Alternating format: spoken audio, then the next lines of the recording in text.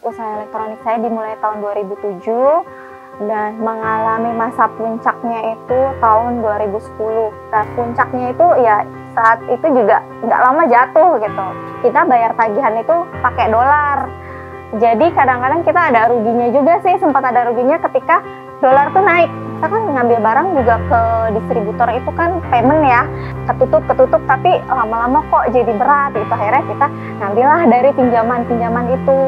Jadi ya akhirnya menumpuk. Kita punya pinjam utang riba punya hutang juga ke distributor.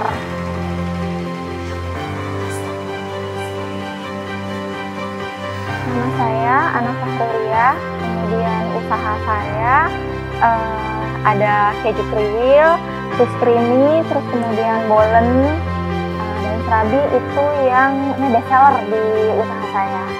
Awalnya itu teman SMA saya minta dibikinin kue kering untuk lebaran.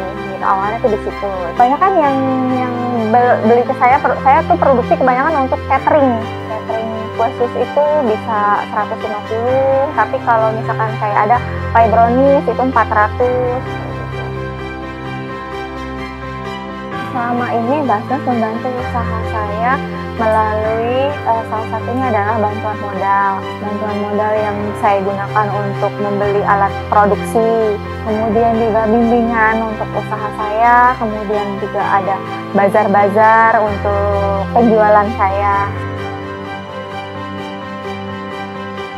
Terima kasih kepada masyarakat Indonesia yang sudah menyalurkan zakatnya melalui Basnas sehingga kami para anggota-anggota yang tergabung dalam Basnas bisa terbantu usaha kami uh, dengan adanya uh, zakat yang disalurkan melalui Basnas. Semoga Allah membalas uh, semua kebaikan para masyarakat Indonesia yang sudah menyalurkan zakatnya melalui Basnas.